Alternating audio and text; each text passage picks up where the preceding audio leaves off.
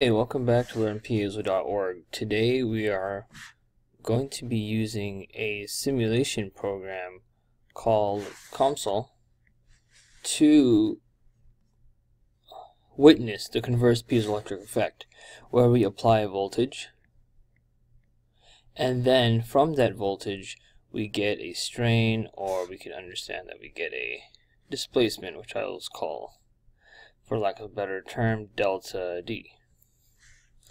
So if you can recall what the equation for uh, the constitutive equation, the reduced one, for a applied electric field E, you multiply that with a piezoelectric constant D in the particular direction you're talking about. So here we're going to be working with the D33, which is in the thickness direction, the same direction as the polarization.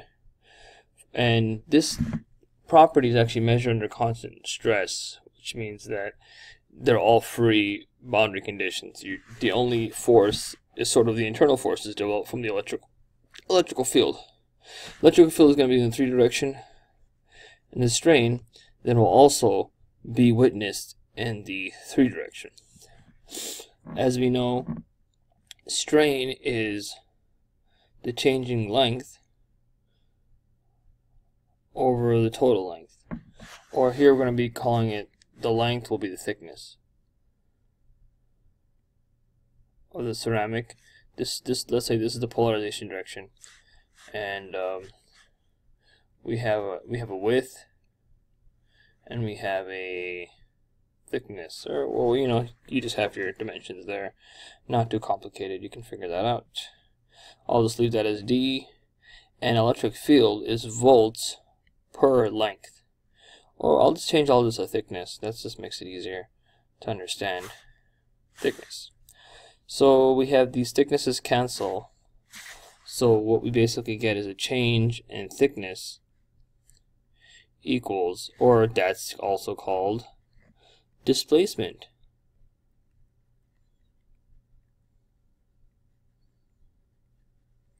equals the piezoelectric D coefficient times the voltage. So now let's witness this by uh, designing a simple piezoelectric block or rectangular sample and then we will apply it, uh, apply voltage to it. So we will go to COMSOL, this is COMSOL version 5, Model Wizard, 3D in this case. Then I will go to structural mechanics, piezoelectric devices add, and I'll add all the necessary physics in order for this to work. Study, I want to look at a stationary result and done, right? Because we're doing a static.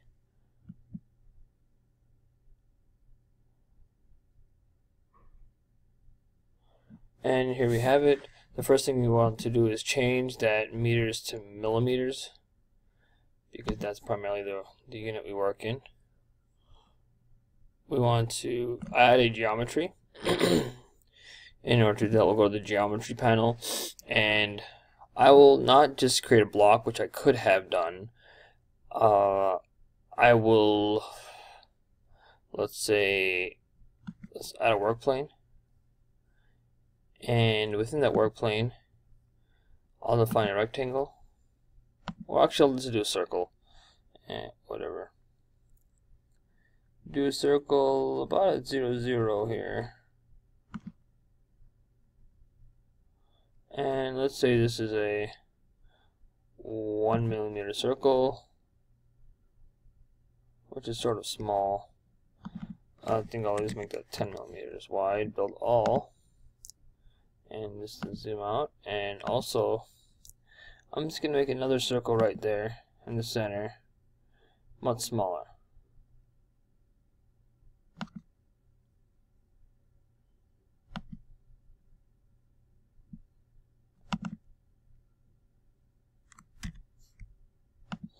I'll just do that and just make this 0 0.2 build all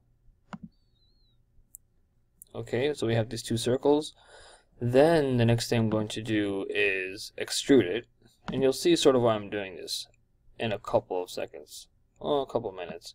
So I'm extruding it one with all objects. So now we have our disk, our piezoelectric disk, and we all we just basically go down this right right column here, and we just now we assign our material, and we have to use a piezoelectric material. Luckily, they have that in the database.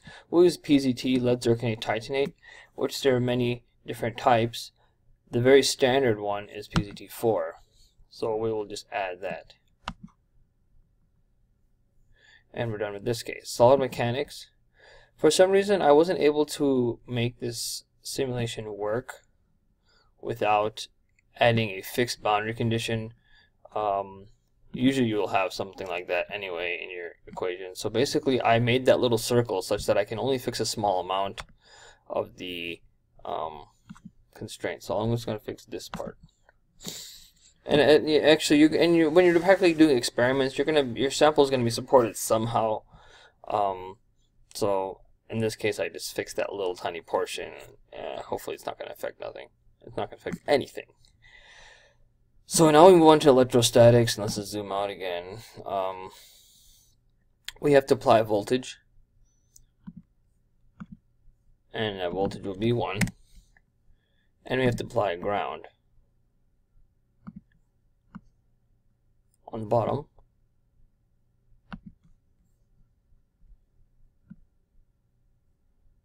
And we should also apply ground this little part right there. We'll, we'll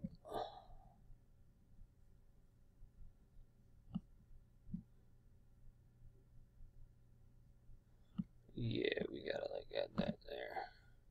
Okay, so we have to apply the potential to two little portions. That that that portion's missing here.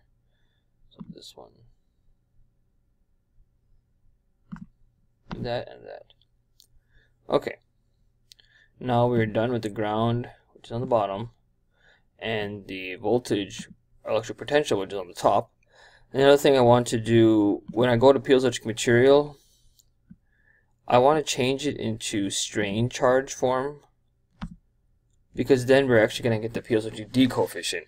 Uh, the alternative, the standard setting, is to use the piezoelectric E coefficient, which is not directly calculated from any standard method that I'm aware of.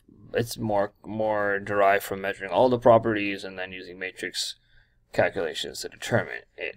But however, the piezoelectric coefficient can be readily determined. So much of the time, when we talk equations, we talk in terms of D, and the compliance in terms of constant electric field.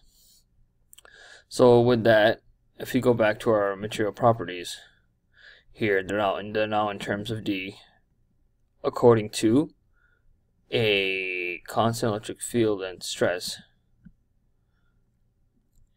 And the piezoelectric D coefficient is about 500 here. Oh it's about it's about 239 so let's just uh, we're gonna be verifying that. So we now we just go down to mesh we can use extra extra fine. And uh, to be honest with you, I think we will do much better in our simulation if we make this a little bit larger.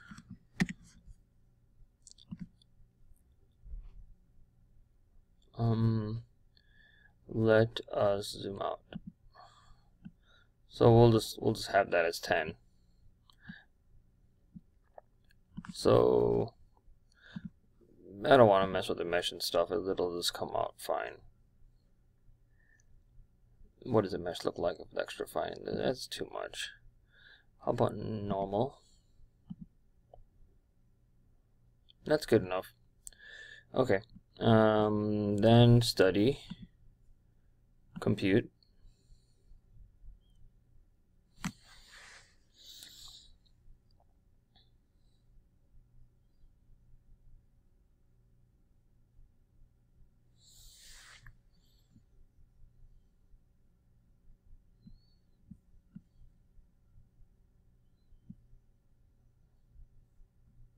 So you see there's only stress here, Actually, when you apply an electric field to a piezoelectric material, it expands to its zero straight, zero stress, uh,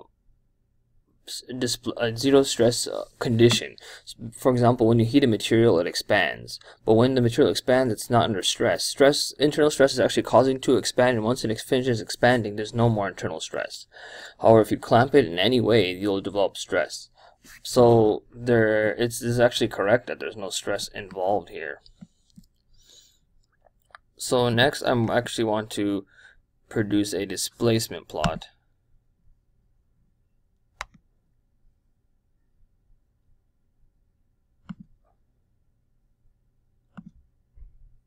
That's fine. And uh, that's also okay. So let's just plot it. So we see the maximum displacement is a little more than 3 times 10 to the negative 7 millimeters. I'm actually going to change this and make it into meters. Actually, I can leave it in millimeters because we are uh, we have 10 millimeters length, so it's easy to calculate. Um, so, but however, in order to find that exact number, we'll do something else. And this is little some small tricks or some small useful values. So we'll just make a probe, a domain point probe. We'll just add that right there. And it's going to be measuring displacement, that is good. And then we're going to actually have to run the solution again but doesn't take so long.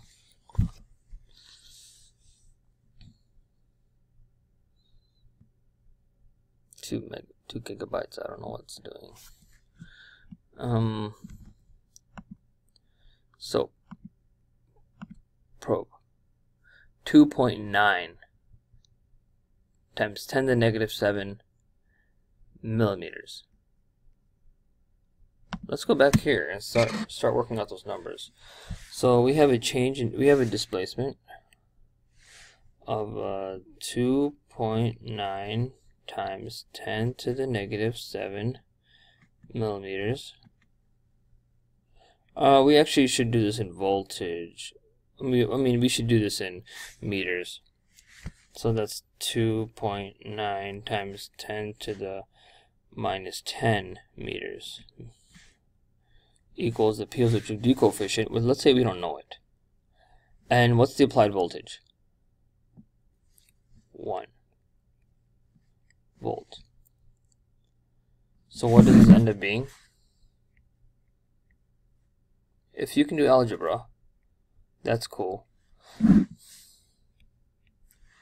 And then this will actually end up being uh, 2.9 sorry, 290 picocoulombs per Newton, or you can do two, two, 290 um, meters per volt.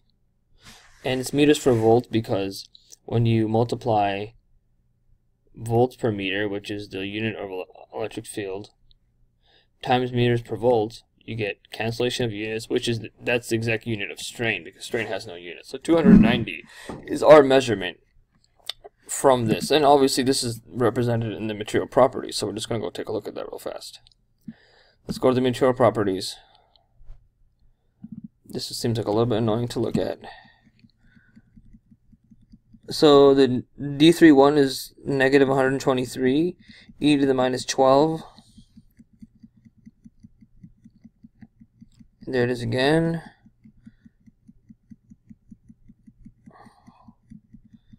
Two hundred eighty-two point eight nine. Yep, this is exactly right. So therefore, we have now uh, determined how you might think about doing it experimentally if you have a way of measuring the displacement, which there are many ways um, to measure uh, displacement in the micron size. How many microns did it displace? That's the next question. 0.29 micrometers. Right? Wrong.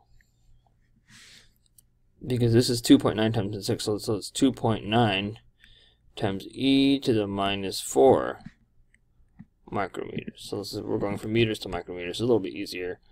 Um, or not, but this is basically the number right here, which would then be, oh well, uh, which would then be the micro micrometers, which is hardly anything. Which is why we use resonance, why we use large voltages, why we use multi-layer to multi-layer structures to increase the electric field. So next time, um, we're going to be going over using the direct piezoelectric effect. And if you apply a stress, capital X, to a piezo, and then we get out a voltage.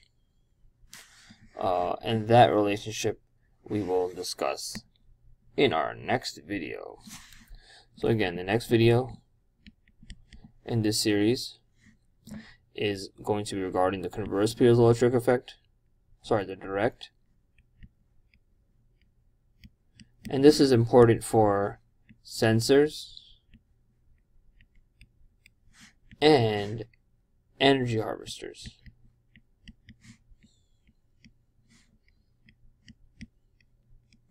Alright, I'll see you in the next video.